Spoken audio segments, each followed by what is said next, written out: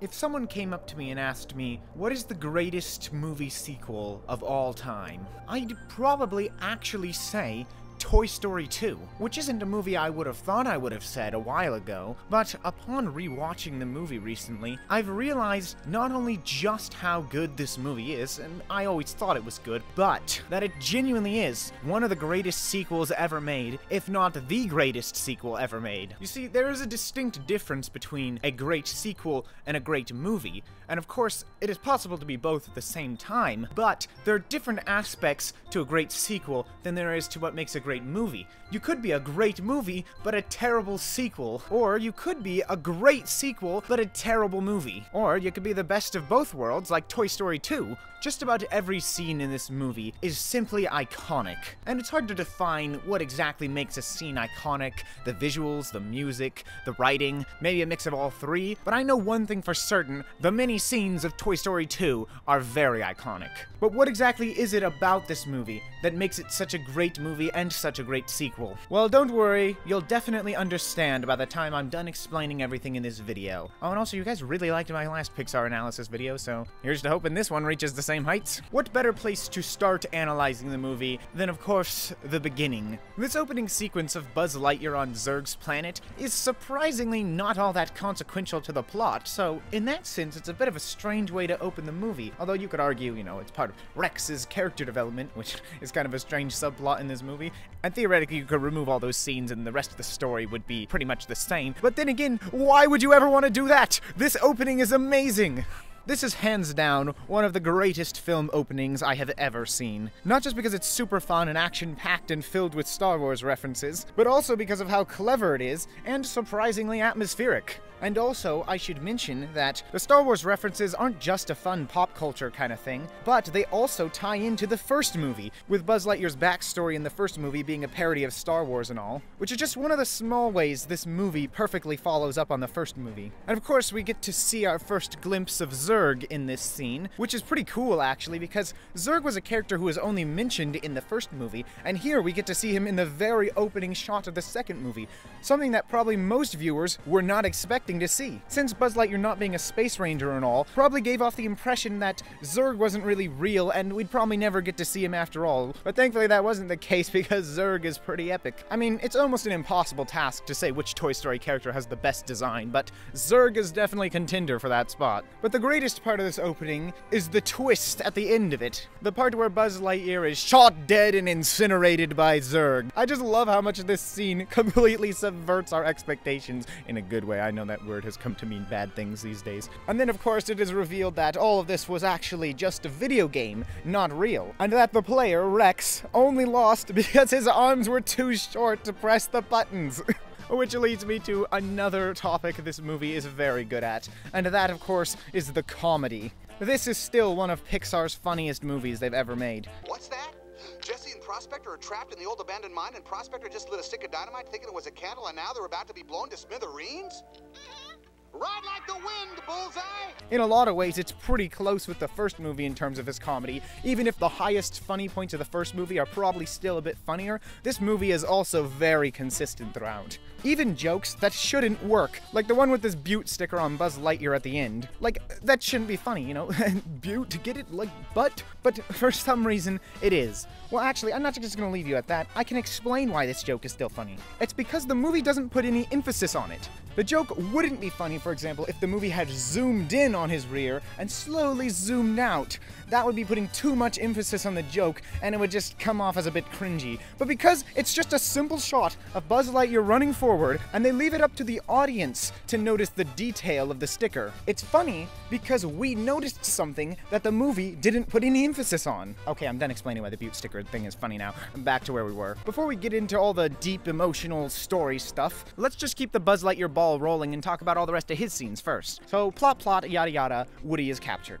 But when Woody is being captured, Buzz Lightyear does not just stand there. He immediately jumps out the window to go and rescue Woody because they're friendship really means something to him now, perfectly following up from the first movie, where of course they had a very rocky relationship until the end. I always hate it when movies regress characters back to how they were, cause Oh, that's how it was in the first one, so we gotta do it again, or the audience might not like it as much. or some such nonsense, you know, and just make Buzz and Woody have a rocky relationship for the whole movie again. That'd be pretty lame. I mean, of course, there is some, you know, disagreements later on, but they don't last very long because the characters have come to understand each other by this point. And I like how this movie shows just how clever Buzz Lightyear actually is. He's able to put together several subtle hints as to who captured Woody. With just a feather and a license plate, he's able to put two and two together and figure out that it was Al from Al's Toy Barn who actually captured Woody. This of course, important because some people seem to misunderstand Buzz Lightyear. They think because he thought that he was a space ranger and not a toy, that he is somehow stupid. But you see, Buzz Lightyear was never stupid. Buzz Lightyear was able to do several things in the first movie that no idiot would be able to do. He clearly knew to put a seatbelt on when he was inside the car. He came up with the plan to infiltrate Pizza Planet by using the trash. And he is very good at organizing all the toys in Andy's room to make them work on a very efficient schedule to repair his ship, and many other things as well. And if you don't see the point of what I'm saying right now, uh, that's because this is a dig at Toy Story 4 for completely ruining Buzz Lightyear's character and turning him into an idiot. But anyways, Buzz Lightyear puts together a team to go save Woody. And pretty much all the scenes featuring Buzz Lightyear and the gang are amongst the most iconic in this movie. The crossing the road scene is literally so iconic that it is on the cover of the Blu ray copy that I own. And not to mention, this crossing the road scene is a perfect example of show don't tell comedy done right. The only thing anyone ever says in this scene is stop and go. And what makes it so funny is just how much chaos the toys end up unfolding just by crossing the road. Oh, and of course, the part where Mr. Potato Head almost gets squished without even realizing it because of the poor vision of the cone.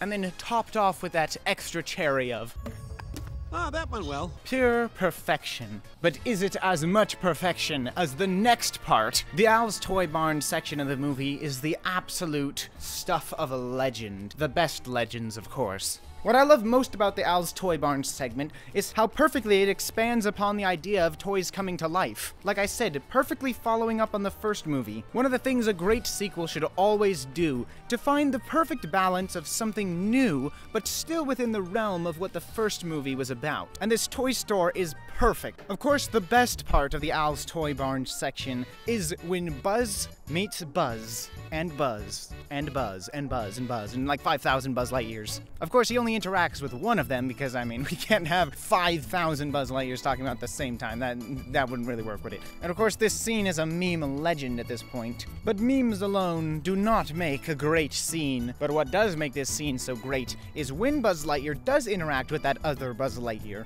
which is yet another example of perfectly building off the first movie. In the behind the scenes making of for this movie, the director talks about how the funniest part of Buzz Lightyear in the first movie was that he didn't realize he was a toy and thought he was an actual space ranger, and he realized that Buzz Lightyear might not be as funny in this movie if they didn't have those parts. But they can't just reverse his character development, that'd be stupid, right? So then they had the big brain, genius idea of having two Buzz Lightyears one who knows what a toy is, and one who doesn't, and he's at war against himself to convince himself that he's a toy. And even though they're similar, their world experiences shape them into different people, as we see the second Buzz Lightyear change throughout this movie to become a different person than the Buzz Lightyear that we know, even though they're technically the same toy. A subtle bit of nature versus nurture messaging there. And of course, I can't not mention just how hilarious it is to see Buzz Lightyear in Woody's position from the first movie, yet again showing us just how much he's grown from the first movie. Also, the idea of multiple toys of the same character existing is also just genius genius. In the first movie, we never saw two of the same toy.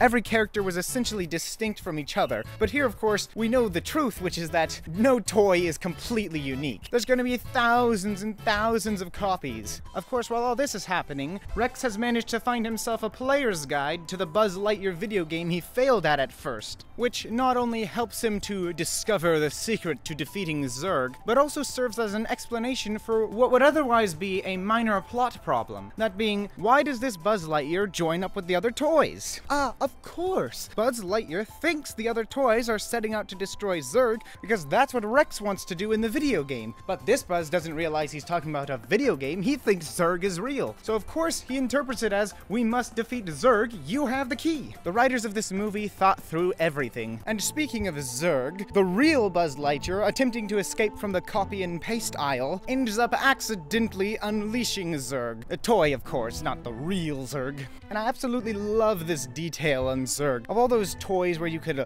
look through something and it would alter your vision, which actually leads me into another point of why this movie is so good. It's because even though the first movie did a pretty good job of showing us a world of toys and how their lives are different from ours, I feel like this movie plays into the idea of these being toys even more than the first movie does. There are just so many clever ideas in this movie relating to toys and what happens to them, where they come from, how they feel about everything. This movie genuinely makes you rethink the existence of your very own toys, even though you know they're not real. So, of course, Zurg follows the other toys as they head out to the true location of Woody, inside Al's apartment. And I think this whole apartment is a really great example of just how much the scale of this movie is increased from the first movie. In the first movie, it was basically just Andy's house, Sid's house, and a quick trip to Pizza Planet and back. And that was about it. Not too many locations or anything crazy, but in this movie, we've already talked about crossing the street, going to a toy store, a 23 floor apartment building, an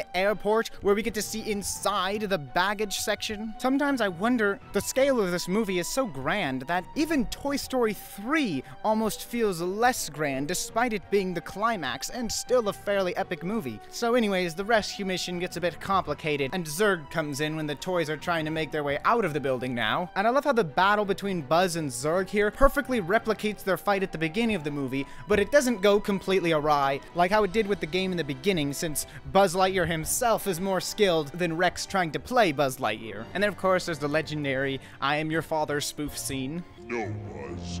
I am your father.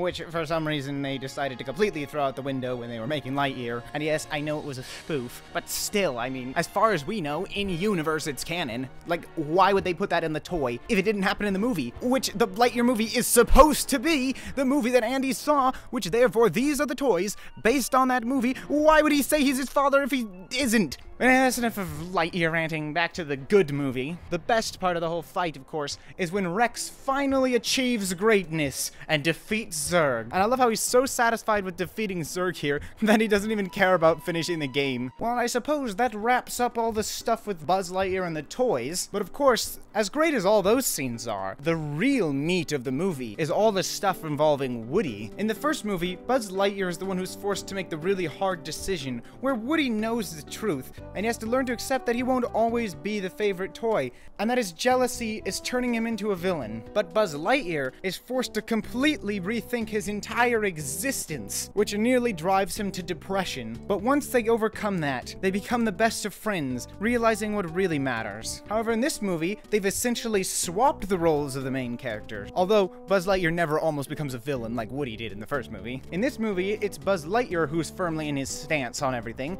and Woody who's forced to question everything and make the hard choices. At the beginning of the movie, Woody's afraid that Andy might not like him as much if he's missing his hat, and therefore he's not perfect, he's not complete, he's not good enough. Bo Peep tries to talk some sense into him, saying that his hat isn't what makes him Woody, and that if Andy truly loves him, he'll still play with him even if he doesn't have his hat. Woody is slightly skeptical, but he accepts Bo Peep's advice, and thankfully does find his hat. But not too long after, something much worse happens when his arm is ripped, and consequently, Andy chooses not to play with him or bring him on his trip, seemingly confirming his worst fears were actually right. It's such a heartbreaking scene when Andy puts Woody on the shelf and everyone asks if he's alright, and he just pulls himself back onto the shelf, not saying anything. The whole idea of a toy breaking is another really clever idea that perfectly follows up on the first movie. While toys did break in the first movie, the idea was more so that breaking a toy is wrong, like with how Sid Frankenstein's a bunch of toys into weird amalgamations that aren't their true selves. Or it's played more for laughs like with Buzz's arm. But here, they really make you think about what does happen to these toys when they eventually break and wear down. As Andy's mom says, I'm sorry, honey, but you know, toys don't last forever.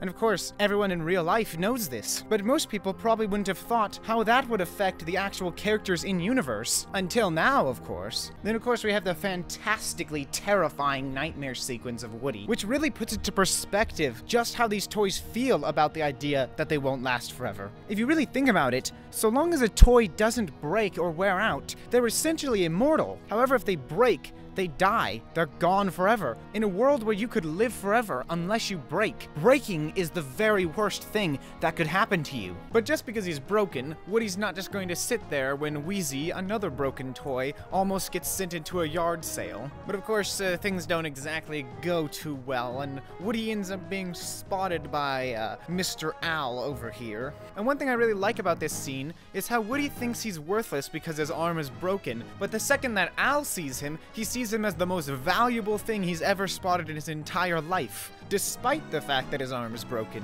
He basically just brushes off the arm being ripped as some minor inconvenience. This is actually a really clever scene that ties into Woody's choices later on in the movie, and I'm surprised I've never heard anyone else ever mention how clever this is. And of course, these big choices I've been referring to so far come as soon as Woody arrives at Al's apartment, and he discovers that there's so much more to him than he thought. The whole idea of Woody actually being this really big star from long ago is such a genius concept for a sequel, since in the first movie, the idea was that Buzz Lightyear thought he was bigger than he really was. But in this movie, Woody, who thought he was just any other toy, actually turns out to be really big and important. One of the big parts of the collection, of course, being the old TV show which Woody used to be a part of, called Woody's Roundup. And I love the detail that the show is so old that it's made with puppets in black and white. But alas, the show did not last forever. It got cancelled when people started to become more interested in sci-fi than old westerns. The climax of the show didn't even get made, leaving it unfinished. But because the show got cancelled, and production on all the toys and everything stopped, is of course the very reason why he's such a collectible toy now. And can I just say, I also love just how genius the idea of a collector's toy being part of the plot of this movie is. Since the first movie only really explored the idea of toys being played with by children, this movie dives into the idea that there are also adults who value toys just as much, but for very different reasons. Just yet another way this movie geniusly expands upon the ideas of the first. And of course, I have to mention the other three characters who relate to Woody, those of course being Jessie, Stinky Pete, and Bullseye, all of which are such great additions to the Toy Story universe that it's almost hard to imagine what it was like before they existed. While Bullseye is a fun addition, he has nothing on the other two characters, as the dynamic between Woody, Jessie, and Stinky Pete is really what makes this movie such a masterpiece. Each of these three characters present a unique perspective, having been shaped by their vastly different pasts and experiences, all brought together for one ultimate purpose to be sent to a toy museum to forever be put on display. Woody, of course, doesn't want to go to the museum. He wants to go back to Andy's house because he believes that a toy being played with by a child is the very purpose of a toy and what they should strive for in life to make a child happy. Stinky Pete wants to go to the museum because he believes that being in a collection is more valuable than being played with by a child. And Jessie wants to go to the museum for much more complicated reasons, but mainly because she doesn't see the value in being played with by a child anymore. So essentially, it's two versus one. And the thing I most like about this decision that Woody is forced to make is that neither option is inherently bad. Both sides give good reasons for why being played with a child is a good thing and going to the museum is a good thing, but there's also downsides to both as well. Of course, Woody points out that the downside of going to the museum is that you'll never be played with by a child or loved by anyone ever again. You'll just be watched from behind glass for the rest of your life. Just a cool thing to look at. Sure, you're valued, but it's never anything personal. There is no relationship with an object behind a glass and a child looking at it from beyond, or more likely adult, since you know it's a museum. But then, of course, there's the counter argument against Woody, which is that being played with by a child won't last forever. Eventually, children grow up and they don't want to play with toys anymore. Of what value are you then? And of course, Jessie knows all this very personally. When Woody tries to argue with her that being played with by a child is the best choice and what he has to do, Jessie finally reveals why she's so adamantly against the idea, in what is quite possibly the world's hardest try not to cry challenge. Until up, anyways. Also, Charles Muntz is one of the best Pixar villains, guys. I just hadn't seen Up in a while and forgot about him. So you can stop posting comments about him on my Hopper video now. Anyways, where was I again? Oh yes, the Try Not to Cry challenge. This scene is, in my opinion, quite possibly not just the greatest scene in this movie, but the greatest scene in Pixar history. And it's not just because it's sad, but because of how much depth and meaning there is behind it. Jessie used to be just like Woody. When her owner was younger, she used to play with her all the time and loved her like no one else. But those days could not last forever. Eventually, Emily would grow up and change. No longer did she care about cowgirls or dolls or silly things like that. She wanted to be a real woman with makeup and cool friends and cars. But you see, Jessie couldn't understand that. All she knew was that being loved by a child was her purpose in life. So when Emily forgot about her, all those years of waiting, she held out hope that it was just a mistake. Emily still really does love her. But when Emily finally did find her, she didn't still love her. Her only thought was that it was pointless to keep her, and it would be better to donate her off to someone else who could love her instead. What makes this so crushing for Jessie, though, is that she waited all those years in vain hope, only to have all her hopes and dreams crushed in an instant. She wanted so badly for something to be true, only to realize in the end that it wasn't. It made her completely rethink her entire existence. All that time she thought Emily loved her, when for a good portion of that time, she didn't. But at the same time, it's hard to hate Emily's decision too. She'd changed over time and become a different person, and sometimes when people change, they are no longer compatible with each other. And the sad truth is that not all friendships last forever. And often when friendships break apart, it hurts one person much more than the other. All these factors have led Jessie to believe that being played with by a child is pointless because it'll just end one day and you'll be heartbroken. All this time, Woody thought that Jessie just had something against him and Andy, but in reality, Jessie was just trying to save him from having to face the same loss and heartbreak that she went through. And upon hearing this, Woody starts to reconsider his choice, as Woody also knows that what Jessie is saying is true. He's already been hurt by Andy choosing not to bring him to cowboy camp, and so far it seems like Al treats him with more respect. He even brought in Geri from the Geri's Game chess short, the most iconic and greatest Pixar short of all time, to fix his arm, in a scene that's just as iconic and great as the Geri's Game short. And of course, around now is when that scene I kind of skipped over earlier, where Buzz and the gang actually show up and find Woody takes place. And of course I skipped it because it relates more to Woody's story than their shenanigans. And this is another one of my favorite scenes in the movie as well, as Woody, who's now been convinced that going to the museum is the right choice, is forced to confront his new choice when Buzz shows up, and Buzz reminds Woody of the very things he said to him in the first movie, and Buzz giving Woody the You are a toy! is just perfection, perfectly showcasing how both characters have changed over time. At this point, Buzz feels closer to Woody's ideals in the first movie than Woody does at this point. And it takes Woody turning down Buzz for him to finally realize that he's wrong. Going to the museum is not the right choice. As sometimes it takes us feeling the consequences of making the wrong choice for us to realize that it was the wrong choice. Woody now realizes that going to the museum isn't the best option. It's the selfish choice the choice that only benefits him. But being a toy is about more than just being loved by a child. It's about being there for them when they need you. And Woody at last realizes that the best option is to go back to Andy's house, but to also bring Jessie with him. That way she won't have to be sent back into storage. Jessie is uncertain, but seeing the power of Woody's convictions has managed to break a small hole in her hardened heart. But uh-oh, looks like Stinky Pete isn't as honest as he seemed. And could we just talk about how great of a villain Stinky Pete actually is? I briefly mentioned in my Hopper video that he's one of my favorite Pixar villains, and there's definitely a lot of reasons why. First of all, his concept is pure genius. The idea of a toy who didn't sell well, and is essentially trapped inside his box because no one ever opened him to ever play with him, and thus causes him to become jealous of all the other toys who got played with, is simply perfect. And I love how Stinky Pete's jealousy kept festering in him until eventually it caused him to snap. And when he snapped, he suddenly thought, what if I'm better than all those toys who got played with? I'm superior to them. I'm perfect. They get played with and discarded,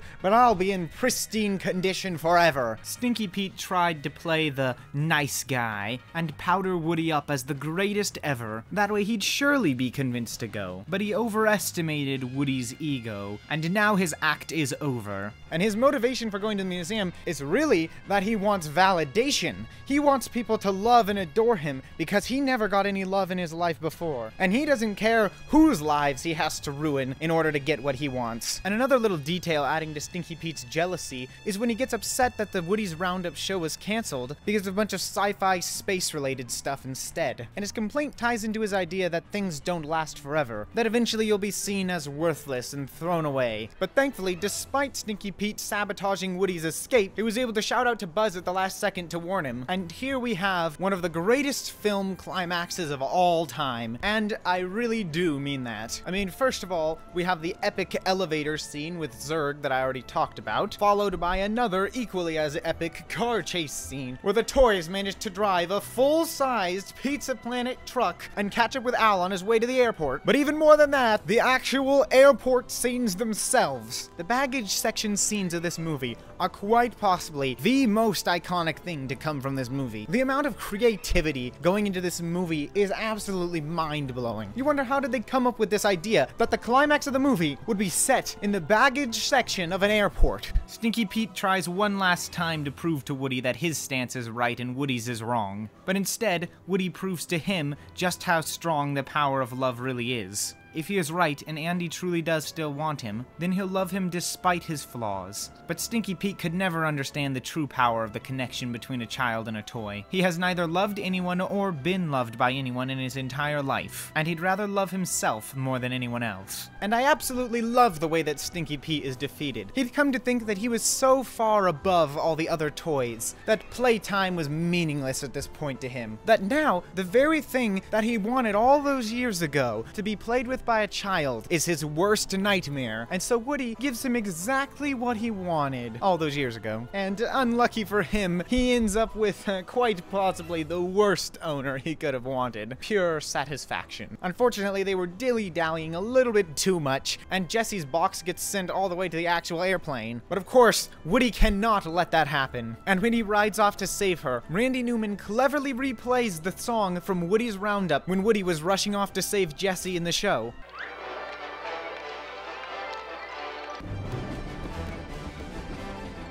The movie respects your intelligence enough to connect the two dots before the actual characters do. And it's just crazy to me how all these Toy Story movies, except for, have such epic climaxes when they're about toys. but I'm not complaining or anything because they're amazing. And of course, Woody does save Jessie from a terrible fate of being trapped alone forever for the rest of her life, and in the process symbolically finishes the climax of Woody's Roundup. And that of course brings us to the final scenes, where we get a heartwarming close to Jessie's storyline, as she finally gets another owner to love her like Emily once did. But most importantly, I like the final shot of Woody and Buzz, where Woody explains that even if the good days don't last forever, he'd rather live them to their fullest than not have lived them at all. A beautiful final scene to close out the story.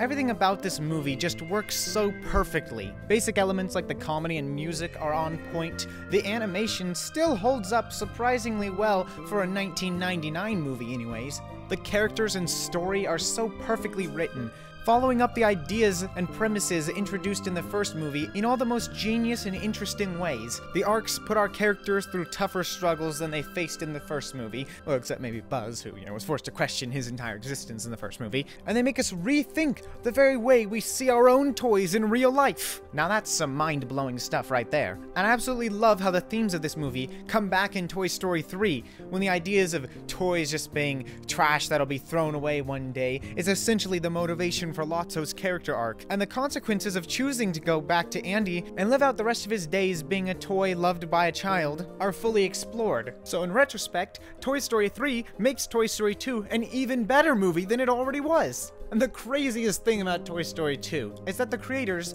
made the movie in nine months. True story. And all that combined is why I believe that Toy Story 2 might just be the greatest sequel ever made, and is surely one of the greatest movies ever made. If you enjoyed this video, why don't you check out my previous Pixar analysis of Hopper from A Bug's Life, or you could check out whatever random video YouTube has decided to recommend over here, but most importantly of all, stay iconic.